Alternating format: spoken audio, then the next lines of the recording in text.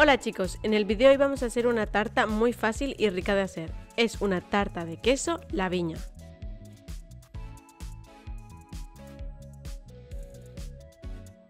Y los ingredientes que necesitamos son los siguientes. 500 gramos de queso crema, 150 gramos de azúcar, 250 mililitros de nata líquida con un 25% de grasa, 3 huevos grandes, 10 gramos de harina y un chorrito de vainilla. Y lo primero que vamos a hacer antes de empezar con nuestra receta es precalentar el horno a 200 grados centígrados. Luego, en un bol ponemos todos nuestros ingredientes, excepto la harina.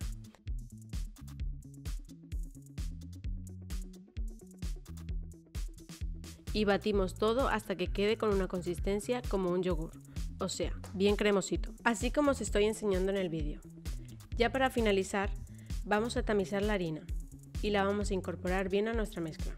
Cuando tengamos una masa suave y esponjosa, vamos a coger un molde, el de vuestra preferencia, el que tengáis en casa. El que yo estoy usando es de 18 centímetros.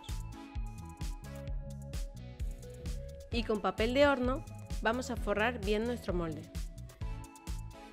Y vertemos nuestra mezcla en el molde. Ya por último lo vamos a llevar al horno unos 40 minutos hasta que esté ligeramente dorado. Pasado este tiempo, sin pincharlo con un palillo, lo sacamos del horno y lo dejamos que se enfríe por completo. Ya cuando esté frío por completo, la vamos a llevar a la nevera, durante unas 4 horas como mínimo. Tranquilos, que la espera va a merecerle mucho la pena. Pasado este tiempo, lo sacamos de la nevera y vemos que ya no se menea como un flan. Es el momento de desmoldarlo.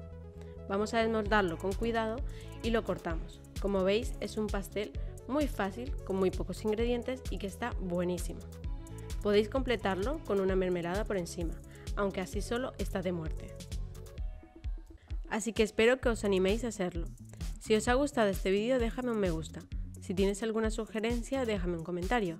Y si aún no lo has hecho suscríbete. Gracias y hasta la próxima.